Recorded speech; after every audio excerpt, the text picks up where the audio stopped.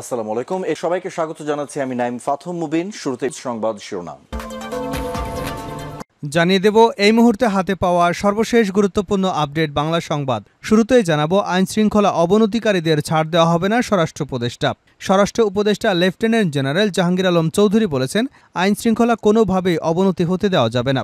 যারা পরিস্থিতি অবনতি করবার চেষ্টা করবে, তাদের কোনো অবস্থাতেই ছাড় দেওয়া হবে না। এবারে জানাব দেশের বেকার সমস্যার সমাধান করা হবে। বিএনপির ভারপ্রাপ্ত চেয়ারম্যান তারেক রহমান বলেছেন, বাংলাদেশ প্রচুর সম্ভাবনার দেশ, এখানে লুকিয়ে আছে অফুরন্ত সম্পদ। সেই সম্পদ কাজে লাগিয়ে কর্মসংস্থান সৃষ্টি করে বেকার সমস্যার সমাধান করে দেশকে সামনের দিকে এগিয়ে নিতে হবে। জানাব নির্বাচনের আগে সংবিধান সংস্কার করতে হবে। জাতীয় পার্টির চেয়ারম্যান জেম কাদের বলেছেন, বাংলাদেশের শাসন ব্যবস্থাই সরকারকে দানবে পরিণত করে। সংবিধানে সরকার প্রধানকে অপরিসীম ক্ষমতা দেয়। এতে ভালো নির্বাচনে জয়ী জনপ্রিয় দলও ক্ষমতা অপব্যবহার করে দানব হয়ে যায়। তাই ভালো নির্বাচনের আগে সংবিধানের প্রয়োজনীয় সংস্কার করতেই হবে, যাতে ভালো সরকার পাওয়া যায়। এদিকে বিলাসবহুল আবাসনেই ছয় হাজার কোটি টাকারও বেশি ব্যয় সাবেক ভূমিমন্ত্রী সাইফুজ্জামানের। বাংলাদেশের সাবেক ভূমিমন্ত্রী সাইফুজ্জামান চৌধুরী লন্ডন, দুবাই এবং নিউ ইয়র্কে বিলাসবহুল রিয়েল এস্টেটের জন্য ছ হাজার কোটি টাকারও বেশি ব্যয় করেছেন। অথচ তিনি তার বাংলাদেশের ট্যাক্স রিটার্নে বৈদেশিক সম্পদের কথা উল্লেখই করেননি। প্রিয় দর্শক, এ বিষয়ে আল জাজেরার একটি রিপোর্ট আমাদের হাতে এসেছে। আপনাদের সামনে রিপোর্টটি উপস্থাপন করছি। সঙ্গে থাকুন। জানিয়ে দেব, পোশাক খাতের অস্থিরতায় প্রতিবেশী দেশের ইন্ধন রয়েছে। শ্রম ও কর্মসংস্থান সচিব এ এইচ এম শফিকুজ্জামান বলেছেন, বিগত সময়ে ব্যবসায়ী সংগঠনগুলো রাজনৈতিক স্বার্থে ব্যবহৃত হয়েছে। এসব সংগঠনে গণতান্ত্রিক চর্চা ছিল না। সিলেকশনের মাধ্যমে নেতৃত্ব নির্ধারণ করা হয়েছিল। ব্যবসায়ীরা এমপি মন্ত্রী হলে স্বার্থে দ্বন্দ্ব তৈরি হয়। পাশাপাশি পোশাক শিল্প সম্পর্কে আন্তর্জাতিক গণমাধ্যমে নেতিবাচক সম্পদ পরিবেশনের অপচেষ্টা করা হয়েছে, যাতে আমাদের বৈদেশিক রপ্তানি সংকুচিত হয়। এছাড়া ভুল তথ্য ছড়িয়ে একটি মহল শিল্প এলাকায় অস্থিরতা সৃষ্টি করছে। তৈরি পোশাক খাতে অস্থিরতার পেছনে প্রতিবেশী দেশের ইন্ধন রয়েছে। এবং সর্বশেষ জানাব আন্তর্জাতিক সংবাদ। মধ্যপ্রাচ্যে আরেকটি যুদ্ধের আশঙ্কার মধ্যে ইরানের বার্তা। ইরানের প্রেসিডেন্ট মাসুদ পেজেশকিয়ান ইসরায়েলকে রক্তপিপাসু উল্লেখ করেছেন। তিনি দেশটির কার্যক্রমে নিন্দা ও কটাক্ষ করেছেন। তেহরানের ইরানি সশস্ত্র বাহিনীর উদ্দেশ্যে দেওয়া এক বক্তব্যে তিনি এ মন্তব্য করেছেন। শনিবার আল জাজিরার প্রতিবেদনে এ তথ্য জানানো হয়েছে। পেজেশকিয়ান দক্ষিণে লেবাননের ইরান সমর্থিত হিজবুলার সিনিয়র কমান্ডারদের এক সমাবেশে মারাত্মক হামলার একদিন পরে সেনা সমাবেশে যান এবং এসব কথা বলেন। এতক্ষণ শিরোনাম শুনছিলেন এবার বিস্তারিত। প্রিয় দর্শক আপনি যদি এই চ্যানেলে নতুন হয়ে থাকেন, ভিডিওটি দেখতে দেখতে চ্যানেলটি সাবস্ক্রাইব করে আমাদের সঙ্গে থাকুন। আর এই ভিডিও সম্পর্কে আপনি আপনার মূল্যবান মতামতটি কমেন্ট বক্সে জানিয়ে দিন। আর হ্যাঁ প্রিয় দর্শক, জানিয়ে দিন ভিডিওটি কোথা থেকে দেখছেন। আইন শৃঙ্খলা অবনতিকারীদের ছাড় দেওয়া হবে না, স্বরাষ্ট্র উপদেষ্টা। স্বরাষ্ট্র উপদেষ্টা, লেফটেন্যান্ট জেনারেল অবসরপ্রাপ্ত জাহাঙ্গীর আলম চৌধুরী বলেছেন আইন শৃঙ্খলা কোনোভাবেই অবনতি হতে দেওয়া যাবে না। যারা পরিস্থিতি অবনতি করবার চেষ্টা করবে, তাদের কোনো অবস্থাতেই ছাড় দেওয়া হবে না। দুপুর বারোটায় রাঙামাটির রিজনের প্রান্তিক হলে বিভিন্ন শ্রেণি পেশার মানুষের সঙ্গে মত বিনিময় সভা শেষে সাংবাদিকদের একথা বলেন তিনি। উদ্বুদ্ধ পরিস্থিতি নিয়ন্ত্রণে রাঙামাটি জেলার বিভিন্ন রাজনৈতিক দলের প্রতিনিধি ও গণ্যমান্য ব্যক্তিদের সঙ্গে স্বরাষ্ট্র উপদেষ্টার নেতৃত্বে সরকারের উচ্চ পর্যায়ের প্রতিনিধি দলের সঙ্গে সভা অনুষ্ঠিত হয়। স্বরাষ্ট্র উপদেষ্টা জাহাঙ্গীর আলম চৌধুরী বলেন, একটি উচ্চ ক্ষমতা সম্পন্ন তদন্ত কমিটি গঠন এবং এর সুষ্ঠু তদন্ত করা হবে। কোনো অবস্থায় পরিস্থিতির অবনতি করা যাবে না। যারা পরিস্থিতি অবনতি করবার চেষ্টা করবে, তাদের হাত ভেঙে দেওয়া হবে। অন্তর্বর্তী সরকারের স্থানীয় সরকার, পল্লী উন্নয়নের সমবায় উপদেষ্টা এ এফ হাসান আরিফ বলেন, পার্বত্য চট্টগ্রাম নিয়ে বাহির থেকে ষড়যন্ত্র হচ্ছে। আমাদের কোথাও যেন ছন্দপতন ঘটেছে। এর পেছনে ষড়যন্ত্রকারীদের চিহ্নিত করতে হবে। দেশের বেকার সমস্যার সমাধান করা হবে তারেক রহমান। বিএনপির ভারপ্রাপ্ত চেয়ারম্যান তারেক রহমান বলেছেন, বাংলাদেশ প্রচুর সম্ভাবনা দেশ। এখানে লুকিয়ে আছে অফুরন্ত সম্পদ। সেই সম্পদ কাজে লাগিয়ে কর্মসংস্থান সৃষ্টি করে বেকার সমস্যার সমাধান করে দেশকে সামনের দিকে এগিয়ে নিতে হবে। শনিবার বিকেলে এনায়তপুর ইসলামিয়া উচ্চ বিদ্যালয় মাঠে বৈষম্য বিরোধী ছাত্র গণ আন্দোলনে শহীদদের স্মরণে আয়োজিত সবাই ভার্চুয়াল মাধ্যমে যুক্ত হয়ে প্রধান অতিথির বক্তব্যে তিনি এসব কথা বলেন। তারেক রহমান আরও বলেন, কোনো অবস্থাতেই বৈষম্য বিরোধী ছাত্র গণ আন্দোলনে বীর শহীদদের রক্ত বৃথা যেতে দেওয়া হবে না। মানুষের মত প্রকাশের স্বাধীনতা, ভোটের অধিকার নিশ্চিত ও মৌলিক অধিকার প্রতিষ্ঠা করতে হবে। নেতাকর্মীদের ধৈর্য ধারণের আহ্বান জানিয়ে তিনি বলেন, সবাইকে ঐক্যবদ্ধ হয়ে জনগণের পাশে থাকতে হবে, যাতে জনগণ আমাদের প্রতি আস্থা রাখতে পারেন। কোনো অবস্থায় আইন হাতে তুলে নেওয়া যাবে না। কেউ আইন হাতে তুলে নিলে তার বিরুদ্ধে কঠোর ব্যবস্থা নেওয়া হবে।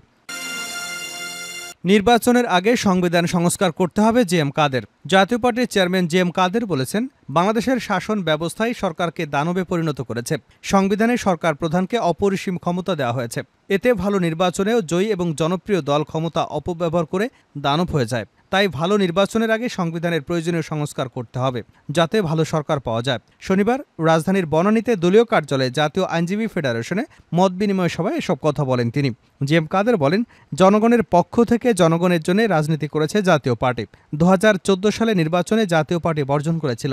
তখন আওয়ামী সরকার হোসেন মোহাম্মদ এরশাদকে চিকিৎসার নামে আটক করে আমার নেতৃত্বে জাতীয় পার্টির দুশো সত্তর জন প্রার্থী নির্বাচন থেকে সরে দাঁড়ান। দু হাজার চব্বিশ সালে নির্বাচনে আমরা যেতে চাইনি। সবাই জানে, জাতীয় পার্টিকে নির্বাচনে যেতে তারা বাধ্য করেছিল। জাতীয় পার্টিকে দুটি ভাগে ভাগ করে রেখেছিল সরকার। আল জাজিরা তদন্ত প্রতিবেদন, বিলাসবহুল আবাসনে ছ হাজার কোটি টাকারও বেশি ব্যয় সাবেক ভূমিমন্ত্রী সাইফুজ্জামানের। বাংলাদেশের সাবেক ভূমিমন্ত্রী সাইফুজ্জামান চৌধুরী লন্ডন, দুবাই এবং নিউ ইয়র্কে বিলাসবহুল রিয়েল এস্টেটের জন্য ছ হাজার কোটি টাকারও বেশি ব্যয় করেছেন।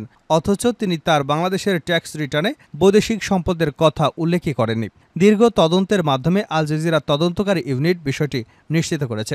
আই ইউনিট যুক্তরাজ্যে তদন্ত করেছে, দেশের মুদ্রা আইনের অংশবিশেষ বারো হাজার মিলিয়ন ডলার বার্ষিক সীমা থাকা সত্ত্বেও কীভাবে চৌধুরীর সম্পত্তির এই বিশাল সাম্রাজ্য গড়ে তুলেছেন।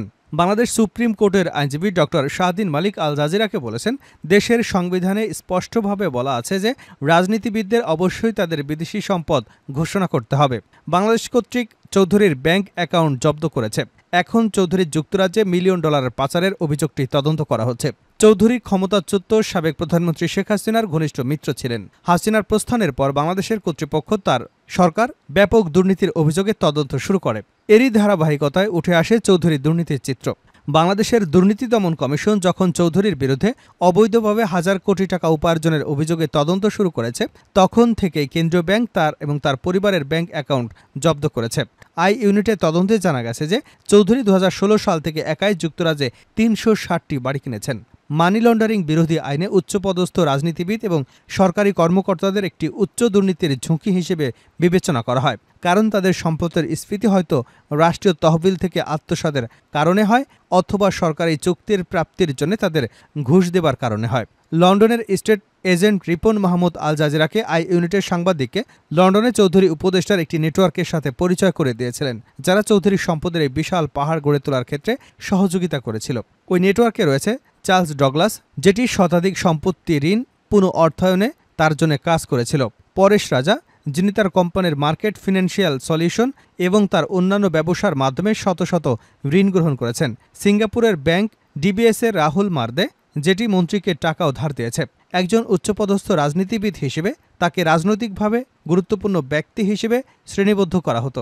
যুক্তরাজ্যে স্টেট এজেন্ট ব্যাংক ঋণদাতা এবং আইনজীবীদের সাথে কাজ করার সময় অতিরিক্ত যাচাই বাছাই এবং কঠোর চেকের প্রয়োজন হতো। অনুসন্ধানের প্রতিক্রিয়ায় চৌধুরী আল জাজিরাকে বলেছিলেন, তার বিদেশি সম্পত্তি কেনার জন্য ব্যবহৃত তহবিল বাংলাদেশের বাইরে বৈধ ব্যবসা থেকে আসে। চৌধুরী অগাস্টে বাংলাদেশ থেকে পালিয়ে যান। তিনি দাবি করেন যে তিনি পূর্ববর্তী সরকারের সাথে যুক্ত ব্যক্তিদের বিরুদ্ধে রাজনৈতিকভাবে উদ্দেশ্য প্রণোদিত হেনস্থার শিকার। Charles Douglas solicitor market financial solution, Paresh Reza, ADBS bank এবং রিপন মাহমুদ আল জাজিরাকে বলেছেন, তারা চৌধুরীর উপর শক্তিশালী অ্যান্টি মানি লন্ডারিং চেক চালিয়েছেন। তারা আরও বলেছে যে, তার তহবিল বাংলাদেশ নয়, সংযুক্ত আরব আমিরাত, মার্কিন যুক্তরাষ্ট্র এবং যুক্তরাজ্যের বৈধ এবং দীর্ঘস্থায়ী ব্যবসা থেকে এসেছে।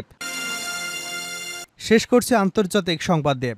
মধ্যপ্রাচ্যে আরেকটি যুদ্ধের আশঙ্কার মধ্যে ইরানের বার্তা। ইরানের প্রেসিডেন্ট মাসুদ পেজেশকিয়ান ইসরায়েলকে রক্তপিপাসু উল্লেখ করেছেন। তিনি দেশের কার্যক্রমের নিন্দা এবং কটাক্ষ করেছেন। তেহরানে ইরানি সশস্ত্র বাহিনীর উদ্দেশ্যে দেওয়া বক্তব্যে তিনি এ মন্তব্য করেন। শনিবার আল জাজিরার প্রতিবেদনে এ তথ্য জানানো হয়েছে। পেজেশকিয়ান দক্ষিণে লেবাননে ইরান সমর্থিত হিজবুলার সিনিয়র কমান্ডারদের এক সমাবেশে মারাত্মক হামলার কয়েকদিন পরে সেনা সমাবেশে যান এবং এসব কথা বলেন। বহিরাগত হুমকির বিরুদ্ধে ইরানের প্রতিরোধ ক্ষমতা উল্লেখ করে পেজেশকিয়ান বলেন, কোনো শত্রু ইরানের মাটিতে আক্রমণ করবার সাহস যেন না করে। তিনি যোগ করে বলেন, এই অঞ্চলে ইসলামী দেশগুলোর মধ্যে ঐক্য এবং সংহতি খুবই প্রয়োজন। এর মাধ্যমে মধ্যপ্রাচ্যের শান্তি এবং নিরাপত্তা বজায় রাখা যেতে পারে। তিনি আরও বলেন, এই ঐক্যের মাধ্যমে আমরা দখলদার, রক্তপিপাসু এবং অপরাধী ইসরায়েলকে দমন করতে পারি। তারা নারী, পুরুষ এবং শিশুদের প্রতিও কোনো দয়া করে না।